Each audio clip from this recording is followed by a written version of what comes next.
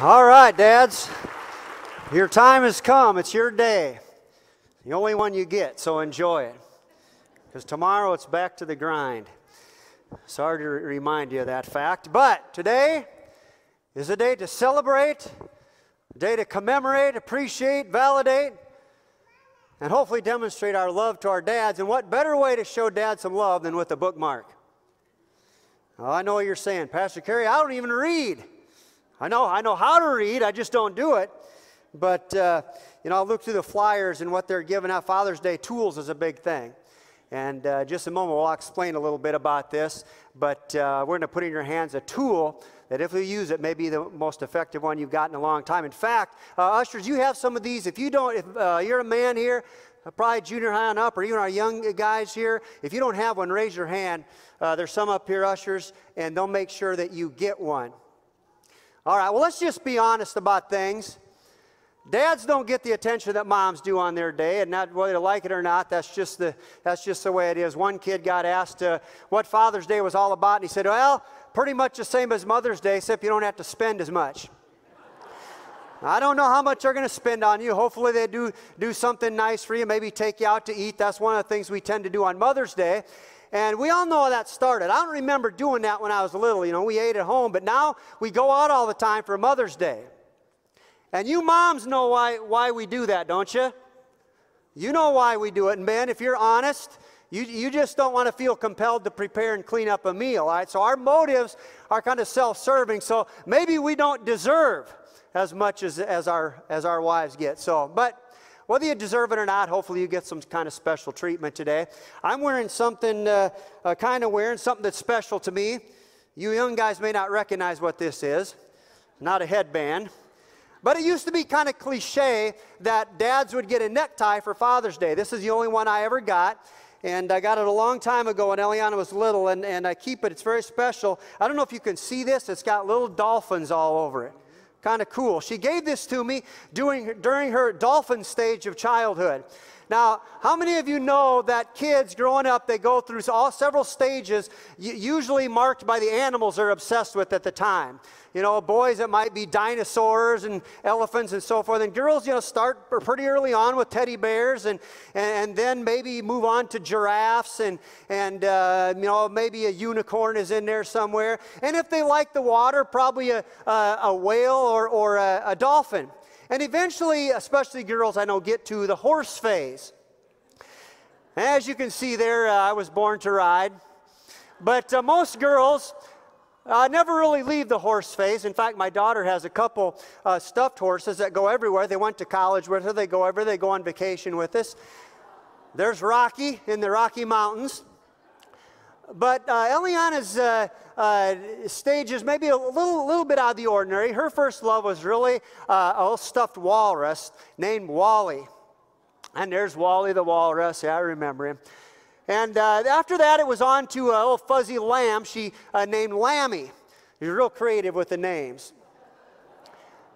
But then she moved on to what is probably the most prominent phase of her life. She's still in it, and most girls just skip this one altogether, and that's the frog phase. And there we are. Now look at that black beard on that guy.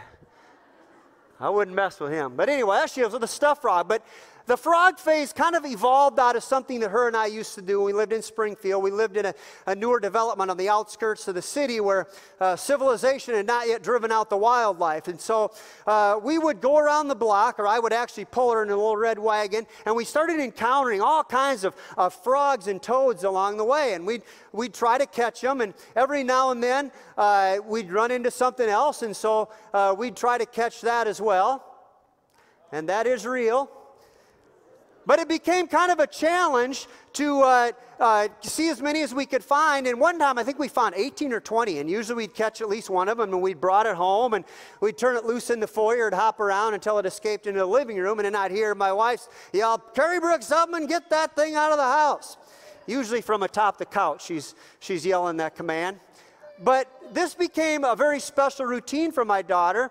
In fact, she would uh, make up stories about our adventures with the frogs, and uh, she really enjoyed that. And it really became more than a passing phase. In fact, to this day, if uh, she ever comes across a frog or, or, a, or a lizard or, or even a caterpillar, she'll catch the thing and she'll text me a picture and says, Dad, look what I found.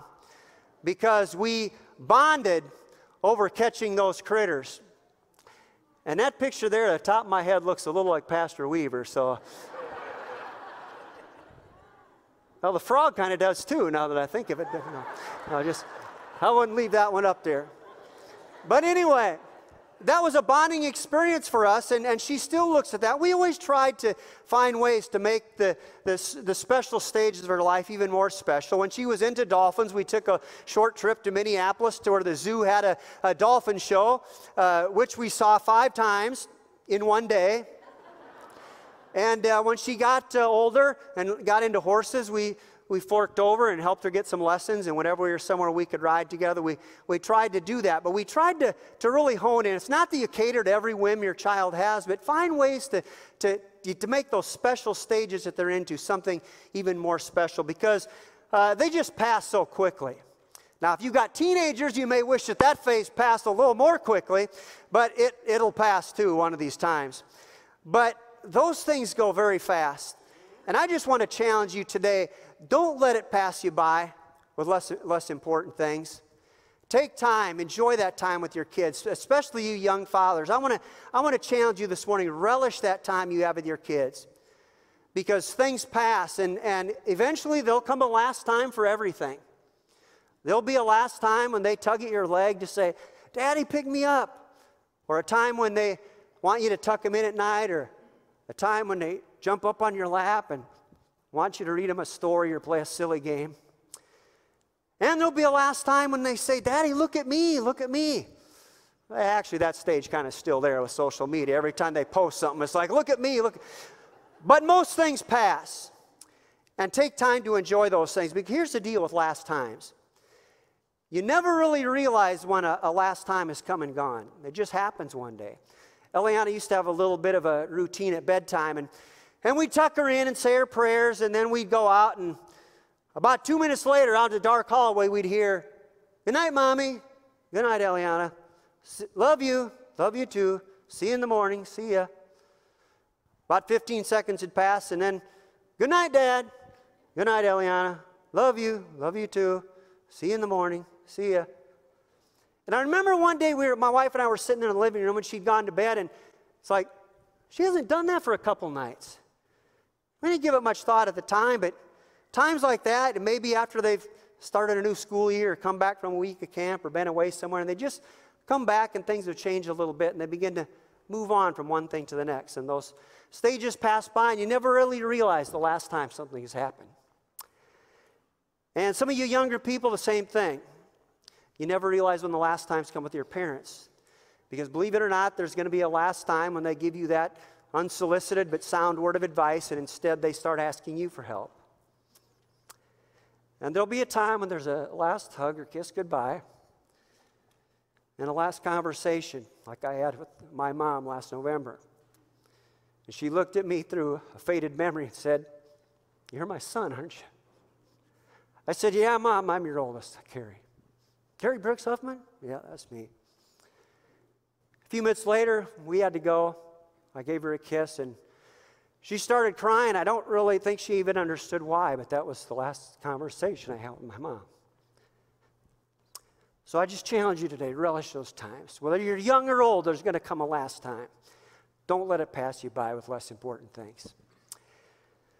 Well, that's pretty heavy for a Sunday morning. But I'm just saying, don't take your family for granted. Appreciate them. I think I tried to do that growing up. I was a, a fairly compliant kid, even though I was strong willed, if those two things make sense together. I always tried to do the right thing, like I saw my dad do all the time. And uh, in fact, not only did I try to do the right thing, but uh, I tried to make sure everybody else was doing the right thing. So I became a preacher at a fairly early age. And I don't know if you could call it evangelism, but I kind of became a street preacher of sorts by the time I was about three or four. And my mom and dad would take me downtown and I would be armed with a message for anybody that was willing to listen. And one of the guys who kind of got the brunt of my enthusiasm most of the time was the guy who owned the department store my mom worked for. He was one of the businessmen in town, one of the big wigs. His family owned the law firm. So in our thriving town of, town of 5,000, he was probably the big cheese. And, And, uh, but I wasn't intimidated by him. And whenever I saw him, he knew I was going to be coming. And if he had that cigar in his mouth, I came up to him and said, Listen, if you don't stop smoking those cigars and using bad language and teasing the girls, then when you stand before God, you're going to have some splaining to do, guy. Now, I meant well, and I think he took it pretty well because usually he'd got to chuckle and pat me on the back, and then he'd reach down to his pocket He'd give me a big shiny nickel or sometimes even a dime. I think every now and then he was really convicted. He gave me a quarter, if I remember right. And that was worth something in those days, man, especially for a kid. And I don't know whether he's trying to pay his penance or pay me off or whatever, but I think it was in that moment I realized, man, I think I could make a living doing this. His pre- preaching gig isn't too bad. Boy, was I wrong. How about that raise the pastor is going to talk to me about next week? So, but uh, but it reminds me of the kid who uh, come up to his pastor and said, "Pastor, when I grow up, I'm going to give you some money." He said, "Well, thank you. And why is that?" And he said, "Well, my dad says you're one of the poorest preachers we've ever had." so I don't, think that uh, I was quite embar- that embarrassing my dad, but I had my moments, and some of my moments were in church. And it wasn't because I was unruly or, or uh, whatever, but it was because of Sunday evening testimony time. How many remember Sunday evening testimony time? Now, for most of the congregation at Parkview Assembly, Sunday evening testimony time was a great time of inspiration and rejoicing. But for Sally and Judy Huffman, Sunday evening testimony time was usually a time of fear and trepidation for two reasons. One, they knew that at some point in the process I was going to stand up and have something to say. And two, what I said was probably going to reveal something untold about the family. So, like the one night when I stood up and uh, I said, you know, I was about four years old at the time, and I said, uh, you know, I really love this church and I appreciate everything it's done for me, and I really like to be here whenever I can. And I really would like to be here more often, except for my dad has to stay home and catch you into Walt Disney before we leave. Now, that was the uh, times when the church started at 7.30 and went to about 9.30, all right? Uh, and we appreciated it, so don't be uh, alarmed when I uh, go till about 1.15 today. just relax. Now, my computer's doing something weird to me here. You know what I did? I messed with this on my phone before I come up here, and it changed it on me. Now it's asking what version I want, and it's wanting to get rid of the version I have. So I may fly fly loosely here. But anyway, uh, I just want to give you a heads up. I'm not going to go long this morning, but I want to take about half my time to uh, lay a foundation regarding some cultural issues that pertain to the topic we're going to talk about. And then when I get to what you have in front of you here, I'm going to hit it hard and fast. And I'm not going to even go to all the scriptures on here. I'm going to leave that to you later. And men, I want to uh, encourage you to use this tool because I can tell you what I tell you in the next uh, few minutes is probably not going to change your life. But you get into God's Word and say what He has about being a man, uh, it will change who you are, I guarantee it. So I want to encourage you uh, to do that. That's what I'm putting it in your hands for, uh, and it's going to be there. So uh, my message this morning is not going to be aimed at uh, the rest of us to uh, be inspired to appreciate you as a father, but I want to talk today to men and to fathers uh, about being men of honor, being people worthy of that, because if we are, then God is going to bring honor to us in the right time. You know, there's a lot of people today who have opinions about what it takes to be a better man. And a lot of those people are wanting to impose that opinion on you and me. The principles we consider in the next few moments really pertain to everybody, not just men, but I specifically want to address our men and fathers and to talk about what God, who God wants us to be as men. But before we get into it, let's pause for this commercial break.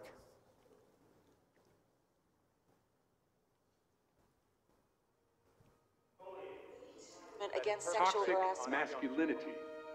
Is this the best a man can get? Is it? We can't hide from it. Sexual harassment is taking over. It's been going on far too long.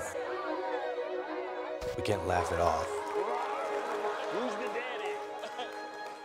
what I actually think she's trying to say. Making the same old excuses. Boys will be boys. Boys will be boys. Boys will be boys. But something finally changed. Allegations regarding sexual assault and sexual harassment. And there will be no going back. Because we, we believe in the best in men. Men need to hold other men accountable. Smile, sweetie. Come on. To say the right thing. To act the right oh, way. Bro, not cool. Not cool. Some already are. In ways big Yo, men, we're everywhere. Oh, you gonna shake and small. I am strong. But some is not enough. It's not how we treat each other, okay? Okay. Because the boys watching today will be the men You may recall seeing that ad that aired during the Super Bowl. It actually caused quite a stir on the internet, and there was a barrage of both the support and criticism. I'm not going to make a judgment one way or the other, but uh, is that really an accurate portrayal of men? Because if it is, some things definitely need to change, and we can do better.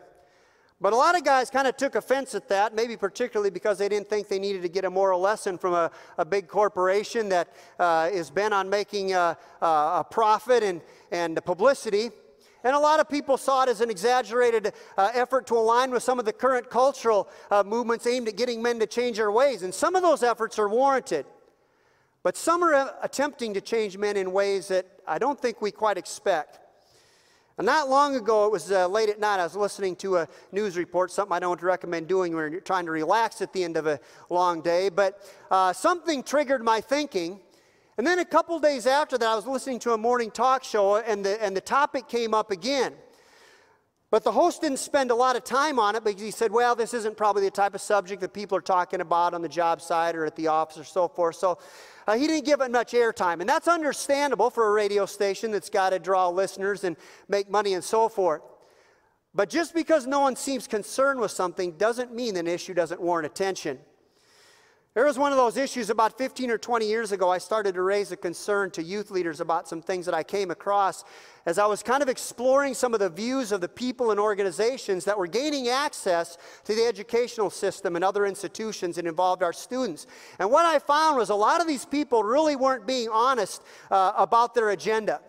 In other words, the stuff they were working into the curriculum and into resources and into school assemblies and so on uh, really didn't uh, reflect their true intentions, particularly re- relating to views on uh, sexuality and gender and things that these experts knew at the time that people weren't really ready to handle. In fact, one of the things that frustrated me is most youth leaders didn't even see any need to address some of these issues at the time because some of these ideas were so far on the fringe that they couldn't imagine uh, that these could ever gain serious traction in mainstream thinking. But then came a story on the cover of Time magazine about uh, 2002 or 3. I, I couldn't find, I couldn't pull it out, but I remember vividly. It asked the question Is there really such a thing as gender? And all of a sudden, some of these extreme voices started to emerge from the shadows with ideas that they really had all along. That gender was just kind of a social construct that was distinct from a person's physical anatomy. And within 15 to 20 years, this view has gone from the fringes to the very core of mainstream thinking. So, whether we want to deal with these issues or not, or think about it, or think it's a big deal, we need to get a handle on some of these issues before they completely get away from us. And while some of you may not be wrestling with it yourself, I guarantee that your sons and daughters and grandkids are and will be. My daughter was in leadership at her college, and there wasn't a training session she ever took part in that they didn't spend the majority of their time on issues like this. But too often, churches fail to deal with these issues until the culture has already defined the terms and owned the arguments. So today I want to talk about this because we need to stay on it. And I want to start by simply asking this What does it mean to be a man? What does it mean to be a man? That's a pretty straightforward question, but the answer is not near as simple as it probably should be because there are a lot of shifting and surprising views the culture has regarding manhood. And if you've been paying attention to some of the cultural issues, you may have heard talk, I think it was mentioned in that commercial, about toxic masculinity. So I want to talk for just a few moments about toxic masculinity and the culture's effort to redefine manhood. Now, at one time, this, this wasn't a very complicated issue, the concept of manhood. But in today's culture, views on masculinity and manhood have become a source of uh, confusion and even contention among people. And it's causing a shift in how we look at and how we define what it means to be a man. So, back to that news report that got my attention that late one night. Here's the gist of it. Late last year, the American Psychological Association issued a statement that said traditional masculinity is harmful to society. Traditional masculinity is harmful to society. Now, I don't put a lot of stock in the APA. They've caved to the culture before on a lot of behavioral issues and, and, and adjusted their views to uh, conform to social norms rather than true clinical analysis. But their views do reflect society. So when they say traditional masculinity is harmful to society, what do they mean by that? Because if they're talking about the old notions of men being tough or uh, insensitive and, and, and, to the point of no emotion and pushing people around and, and that women are subordinate or we just uh, uh, accept bad behavior from boys, then those things uh, are a harm to society and they need to change. But that's not all they mean by traditional masculinity because their statement goes on to say this. In 2019, who can really define gender? Because it's no longer confined to the binary designations of male and female. Statements like that give us a pretty good sense of the direction they'd like to take us when they go on to talk about the shifting views on sexuality and gender identity and things that they see as fluid and fluctuating, and we're all just somewhere uh, along the spectrum. And that's where the whole uh, rainbow symbol came from. It wasn't just something that happened to emerge about the time when we started focusing more on diversity and that. This goes way, way back to people who were espousing these ideas long before they became mainstream. Views that say, regardless of your physiology, we're all just somewhere along the same spectrum, like a rainbow. And that's ultimately where trends are taking us. In fact, there are experts today who claim that there are over 70 distinct gender identities. So who knows what's going to be normalized in the days ahead. But standing in the way of those so called progressive ideas are these traditional views. And they use that term in a derogatory sense because while traditional views of masculinity certainly can include a lot of negative stereotypes, today's attempt to redefine manhood is not as innocuous as it's portrayed. Because those who concur with that view of toxic masculinity are attempting to redefine the role of men in society and not necessarily in constructive ways. So, back to those comments that stem from that psychological assessment I was referring to. Here's what they concluded they said, if we can change men, we can change the world. If we can change men, we can change the world. Now, that's true. I, I agree with that assessment. But the thing I want to know is what kind of change are they talking about and who's going to dictate the terms of those changes and define our role as men going forward? Because someone's going to define it. And men, I'm sad to say it's probably not going to be us. We've come to the point in our society and our culture where uh, it's only going to be defined by two sources from here on. Either we're going to let the culture conform us to their image, or we're going to let God conform us to the image of his son Jesus. It's going to be one or the other. So I want to ask you, where are you going to take your cues? I don't know about you, but if someone's going to affect change in me, I want it to be the one who made me and knows exactly what I'm supposed to be. And if you look at God's word, you're going to find that what it shows is not a matter of traditional masculinity at all, but it's about true manhood. And I want to look at that this morning from God's perspective and see how He defines our role as men. Now, that's a long introduction to a really short message. In the next 12 or 13 minutes, I want to take you through some things I see as God's purpose for men, whether in the role of husband or father or mentor or friend or ministry leader or just someone who needs to set a good example for the people around him. And everything I say today really could characterize any of us, but particularly I want to talk to men. And I'm not going to recite a lot of scripture. It's going to be different than most of my messages or teachings you guys heard me do. But um, I'm not going to recite a lot of these. A couple of them, one or two, are going to come up with each point, and you're going to see them there. But I'm going to leave it to you men to dig into this later because, again, I guarantee you get into God's word on this issue, it's going to transform your thinking about who you are. So I encourage you to do that. But for now, I'm just going to kind of like skipping that rock over a pond. I'm just going to kind of hit the highlights and challenge you about several things that I see as marks of godly manhood. Marks of godly manhood. The first one is spiritual leadership. Now, this doesn't mean that men are more spiritual or that women can't lead. In fact, women have often been the ones to sustain our churches and our families uh, when men have failed to step up. Because in addition to raising our kids, they've been the ones that take them to church. They've been the ones that taught their classes. They've been the ones that coordinated the ministries. They've been the prayer warriors when men have sat on the sidelines or maybe sat on the pew and, and, and not stepped up and, and got involved. And they've relegated that work to godly women. I think ever since the fall of man that, that there's been an innate tendency with all of us to, to wrangle and wrestle against our God ordained roles. And that's why I think men uh, have shirked so much responsibility, especially for spiritual things. But it shouldn't be that way. Shouldn't be the way, that way in the church. It shouldn't be that way in our homes. I read the story one evening. Of a little girl was sitting around the dinner table with her parents, and she said, Daddy, you're the boss, aren't you? Dad smiled and said, Yep, that's right, sweetie. The little girl said, Well, that's because mommy put you in charge, right? now, I'm not saying, men, that we got to take charge of this because husbands and wives are in it together. But we shouldn't have to be told to step up. I've had to tell church leaders over the years to aim their ministries more at men. Why? Because it's a lot easier to get women involved. They're just more responsive and often more responsible. I've told youth leaders the same way. If they aim their ministries at cater primarily to girls, they're probably going to miss the guys. But if they go for the guys, the girls are going to want to be where they are. There's just something about men getting involved that inspires people and that infuses church with life. Maybe it's simply because men are tougher customers and it's harder to get them involved. So when they do get into stuff, it builds excitement and momentum.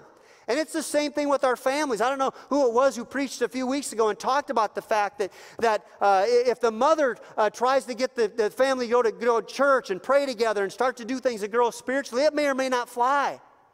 But when the man of the house does it, things are a lot more likely to take off. They're a lot more likely to be taken seriously because there's just something about men when they lend their voice and example to something.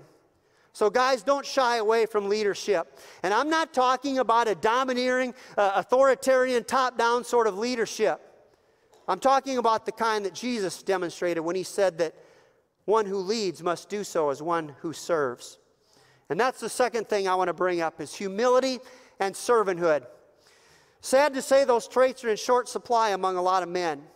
I think it's our competitive nature that, that likes to come out on top and to be winners. And, and, and ironically, when women tout equality and try to do everything men can do, it's often the less desirable traits they, they try to emulate, like being more aggressive and, and, and being rougher and tougher and, and, and somehow being bad and being fierce and even being, uh, being uh, uh, uh, crude in ways has become popular among women and, and a badge of honor almost. And that's not the behavior that any of us should aspire to, men or women women. The passage in Ephesians chapter 5 that you saw up there talks about men being the head of the home. But the context of that whole passage that addresses men uh, and, and children and women as well is that we need to submit to one another. That we need to put others' needs in concern ahead of our own. So when it calls men to lead, it's calling us to take the lead in serving. Don't wait to be waited on. Take initiative. Set the tone of servanthood in your household, in, in your workplace, in your neighborhood. To lead like Jesus did, we must look for ways to serve and lead by example. Well, then Ephesians go on to tell husbands to love your wives as Christ loved the church. I look at that and say, man, I can't even love God as much as he loved the church or loved me. And yet that's the kind of uh, attitude I'm to aspire toward, toward my wife and toward others. But that can only happen from a posture of humility. And being a spiritual leader doesn't start at church, but in every other context of home. Because if we aren't servant leaders to our families and friends, we're not going to be true leaders in any sense. Certainly not like Jesus. And while a lot of men seek honor by coming out on top of every competition and endeavor, or being successful by worldly standards, the Bible says that true honor comes from serving others. The next thing is honor and influence. Honor and influence. Man, honor doesn't come by desiring it, by demanding it. It comes by demonstrating it. It comes by setting the example, being honorable in all we do. And that includes honoring the authority over us and not trying to show how tough and independent we are by bucking uh, every authority and by challenging everything. But by respecting those that God has placed over us and by treating those over whom He's given us authority with respect and dignity. Being honorable means being true to your word and keeping your commitments, even when it's not convenient. Psalm 15:4 says, even when it hurts, you keep your commitments. So I ask you, can people depend upon you to do what you'll say you'll do and to do it well? Do your actions and words and thoughts honor God? Are you living in a way that's worthy to be emulated? If others followed your example, would that be a good thing or a bad thing? Because that's a test of honor. But honor is more than just the outward example. Integrity has to do with what you are and who you are when nobody is looking. Are you a different person in one crowd than in another? Is your public persona different than you are when you're in your private time? Because integrity implies wholeness. It's like a, a, a, bridge or a building or some structure that has integrity. It doesn't, it's not disjointed, it's not cracked, it doesn't crumble under pressure.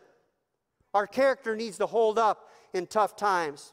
And our actions and conversation should be marked by truth and honesty. And we need to live in such a way that if society did follow our patterns of behavior, things would be better for everyone.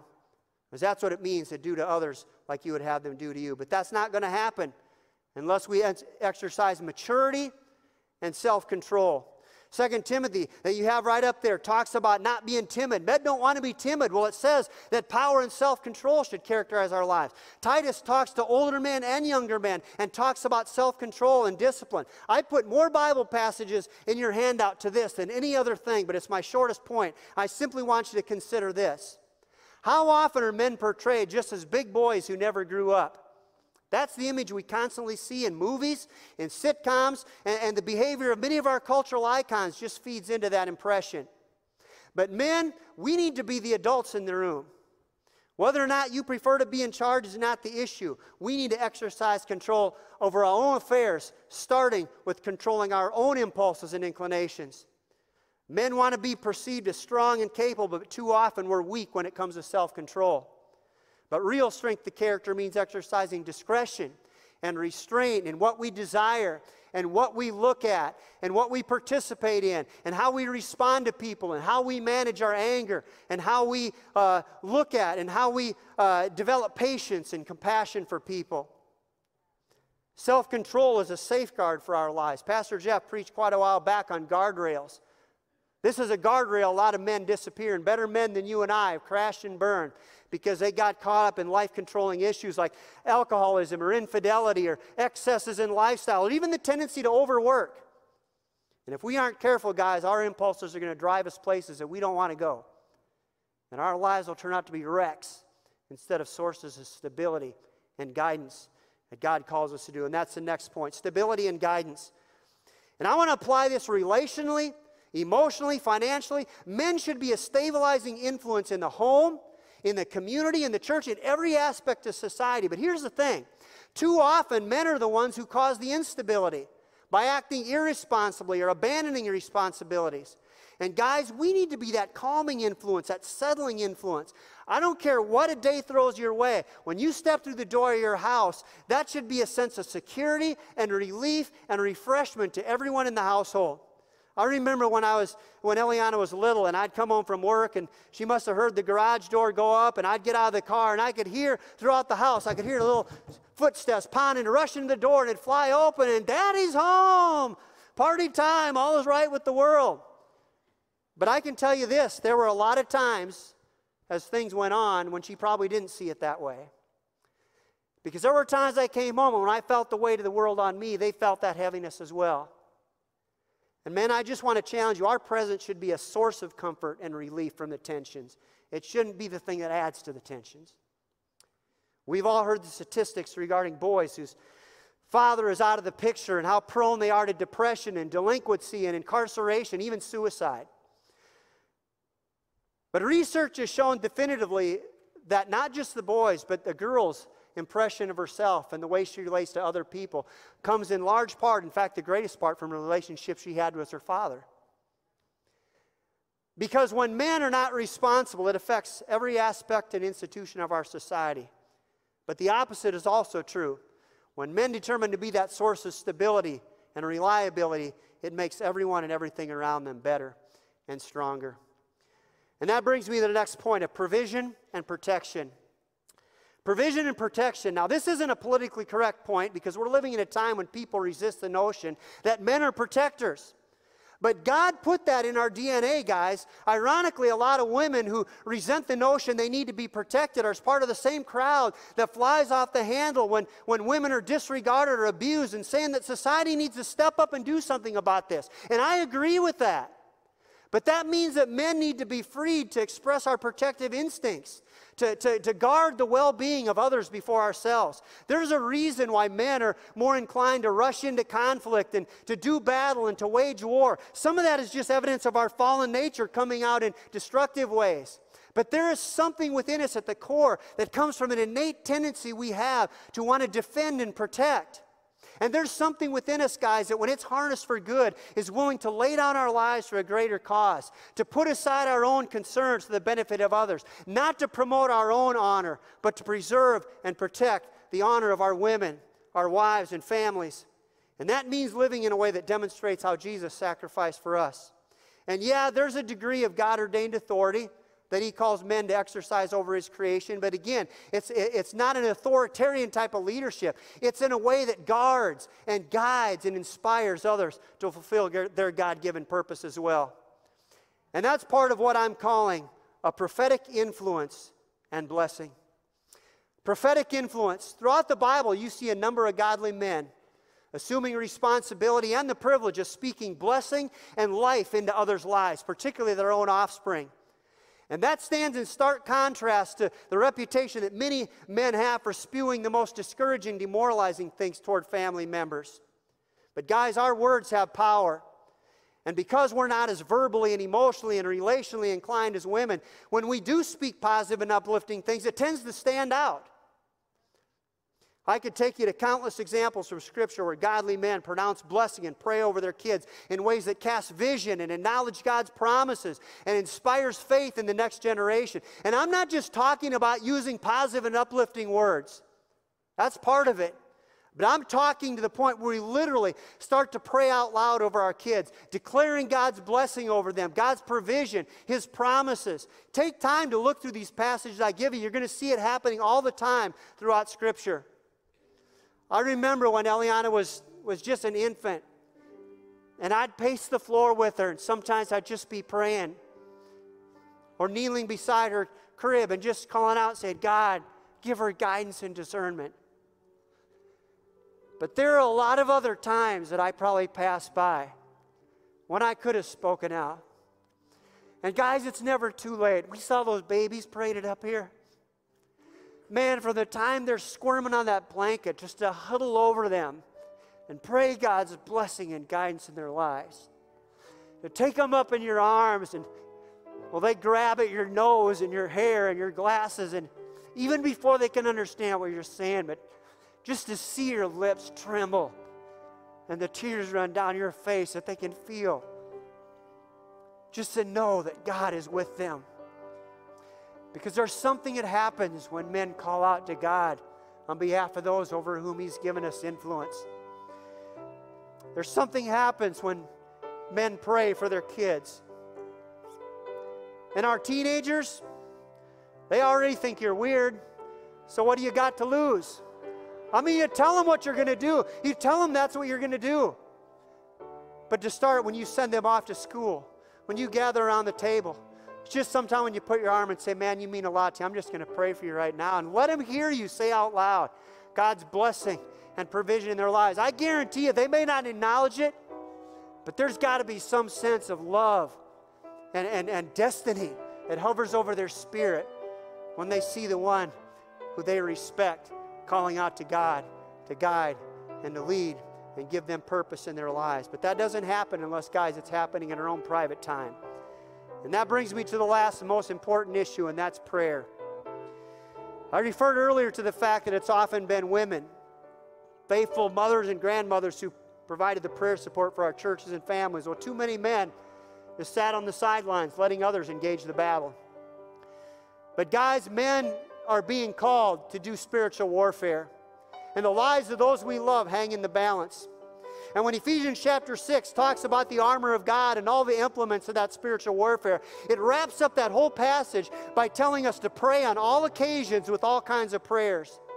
And in doing so, it doesn't just describe prayer as another weapon for the battle. What it essentially says is that prayer is the battle. Prayer is how we wage effective spiritual warfare. It's how things are set into motion in the spiritual realm, things that affect the lives of God, those that God calls us to lead and guide and protect.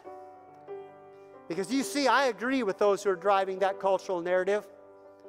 I agree that when they say if we can change men, we can change the world. But the change I'm looking for is not the change that the culture would enact to us from the outside, but the change that only God can bring from the inside. Because if we have godly men submit to His plans and pursue His purposes, then we're going to become who He wants us to be, not who society is pushing us to be.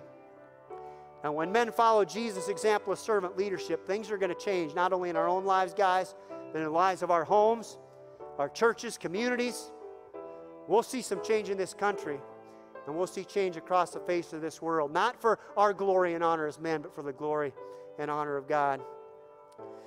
Elisabeth Elliot was married to a man among men.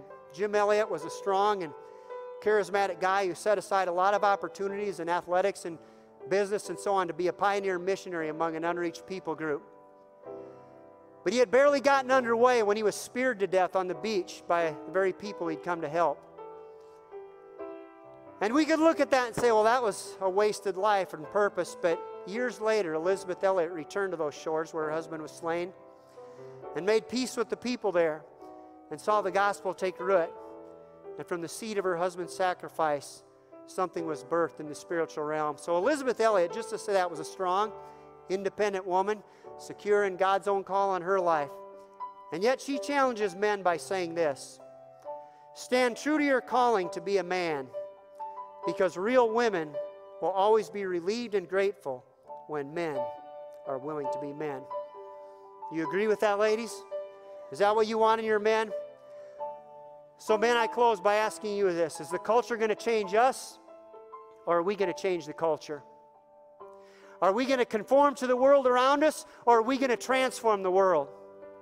Making sure that our manhood is defined by the one who designed it and called us to be men after his own heart.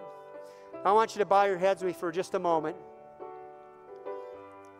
In fact, men, while your heads are bowed, just take that little piece you have in your hands there and begin to look over these issues. You're probably going to see at least one or two on there of areas that you need to work on. And maybe the first order of business is to pull your wife and kids aside later to humble yourself and say, Man, I haven't quite cut it in this way. I need to step up. I need to be a man, and I'm going to do better at this. I guarantee you they'll be behind you if that's what you need to do. So, for the next few minutes, I just want you to look at that, maybe get one or two of those things in your mind. But I want to take just a moment for those, there may be some here today who don't have a relationship with God because right now you're going more the direction of the culture, and I can tell you that way is not going to end well. The Bible says there's a way that seems right to, right to men, right to people, but the end is destruction. You're saying, I, I know I need to follow God's way for my life. And if you can acknowledge this morning that you've gone your own way, that's simply what sin is, gone your own way, and that that's not God's perfect way, perfect plan for your life, and you say, that's what I want.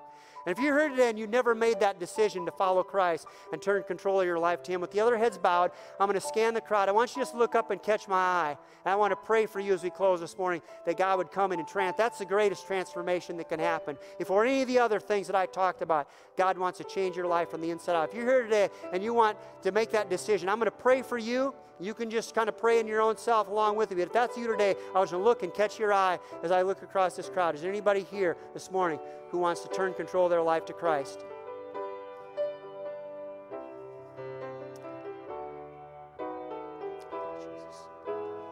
I see at least a couple of people looking. I want to pray for them right now. Jesus, I thank you that these have responded to you. Right now, in this moment, they're acknowledging that they've gone their own way and sinned against you. And they're asking you to forgive them of their sin, which you said you would do if we acknowledge it. They're asking you to give them a new life. They're swapping out their old life for the new.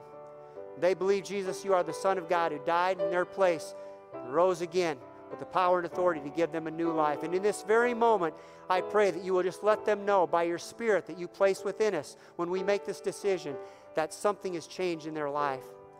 And they've crossed over from life to death. And they can know that whenever they go, whatever time their, their time comes, they're going to spend eternity with you. God, I thank you for those who are making this decision today. If you prayed that this morning, I want you to stop out at the Fresh Start Center. You can catch me, say, hey, that was good, some of what you said there, but I made that decision you prayed about. And I'll give you some things that will help you along the way. The rest of us, I want us to stand for just a moment as we close. And here's how I want to close this service I want to pray for our men. I want to pray not just for our dads, I want to pray for our sons. I want to pray for men who may not have a family. If your family is here and you can kind of gather them with you, man, if they're right beside you, I want wives, take your husband by the hand or put your arm around him. If your kids are nearby, just kind of take them into the huddle there. If you can do that in the pew, do it. If you need to kind of step out into the aisle and just kind of gather with him, do that as well. Would you just move out so that your family can get there with you? And I want us to gather together. If there's a man or a young guy somewhere who doesn't have anybody and you're near, just reach out, maybe lay a hand on their shoulder or stretch your hand toward them because I want to pray for all of our men today. That God would make them who He's intended them to be. Because if God starts stirring something in the men of this church, some things are going to happen that we haven't seen before. I can guarantee it. So, what do we do that this morning? Just gather with your family. there. Put your arm around them. Put your hand on their shoulder. Take them by the hand. And let's pray for our fathers and sons. Lord, I thank you. Lord, you've got a plan for all of our lives. But man, you, you've got a plan for man. You, you had it from the beginning. And you've told us to step up and take the lead, not to lord it over people, but to, but to, but to show and to demonstrate humility and servanthood and to demonstrate your character. And so I pray this morning the, for the men in this place that God, you would just grip their soul uh, in a way that you never have before. Lord, that they would be uh, just emboldened to step up uh, in ways that you're calling them to be a man in every sense, to provide that sense of provision and protection and guidance and spiritual leadership and all the things we looked at today. God, I, I pray that you'll draw men to your word in the next couple weeks to look at the scriptures that they have there in front of them, Lord, that you would begin to transform their thinking. And while culture is trying to redefine who we are and figure out who we are and who they are, God, we just ask you to show us from your word who you've called us to be. And God, I pray that we would be men who serve you. I pray for our young men and boys in this place that they would step up in this next generation and take the lead like never before, that they would say no to ungodliness. And God, they would be a, an example for everyone they encounter. Lord, from the time of that young age, grab a hold of their lives. And for those over whom you've given us influence, I, uh, Lord, just help us all the time to speak that prophetic influence and blessing into their life, not to be afraid, to call out loud on you for them, to pray over them, to let them hear us calling out for purpose and protection and guidance in their life. And God, we know that you're going to honor that because that's the way you set it out. Lord, help us to be the men that we're supposed to be, not because we're deserving of any kind of honor, but because we want you to be honored in and through our lives. And we'll give you glory for everything that you do in us and through it. We pray these things in Jesus' name. Amen.